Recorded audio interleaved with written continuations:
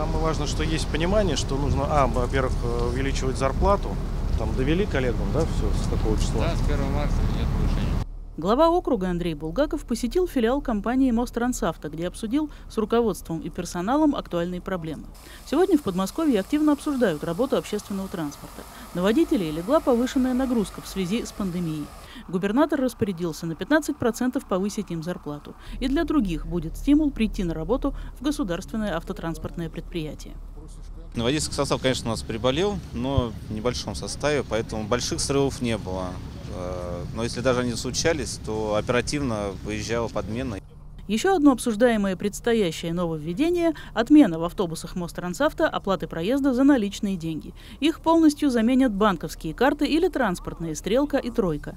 Андрей Булгаков сам продемонстрировал, насколько удобна безналичная оплата. А реально с оплатой карты как вообще? Все хорошо. Ну, удобно, удобно вообще. Удобнее, но некоторые не понимают. И дешевле, и удобнее. А тройкой, у меня дети все пользуются тройкой, говорят, удобно. Тройкой пользуются тоже, и тройкой пользуются, и стрелкой пользуются. Даже бабушки некоторые тоже пользуются стрелкой.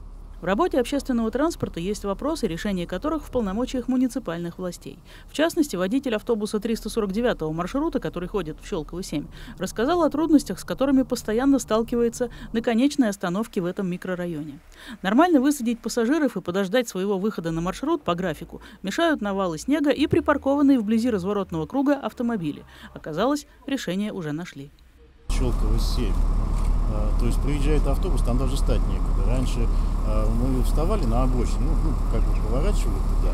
А сейчас, так как обочины нету, ну, как таковой, да, из-за снега. То есть туда стали вставать фуры, грузовики большие. И автобус приходит, приходит то есть даже пассажиров некуда высадить. Мы в этом году карман хотим сделать, там, работы запланированы. По поручению главы у нас принято решение, что в этом году мы делаем э, спуск, заездной карман на данном участке. Вот. Также у нас э, на ближайшей комиссии по безопасности дорожного движения будет э, рассмотрен вопрос об установке знаков. Стоянка на данном участке запрещена за исключением автобусов. Мы это мероприятие уже там, в ближайший месяц мы проведем. А реконструкцию да, и установку платформы мы сделаем в летний месяц, э, когда начнутся у нас уже асфальтовые работы. У пассажирского общественного транспорта приоритет. На остановке уж точно. Зачастую автобусам сильно мешают частные легковушки или такси, которые занимают их место. И этот вопрос власти пообещали решить.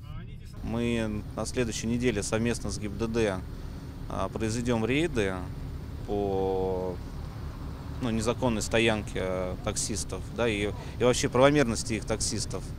Ну, после этого, как бы, я думаю, что проблема это уйдет. Ирина Микеда, Александр Аржевский, Щелковское телевидение.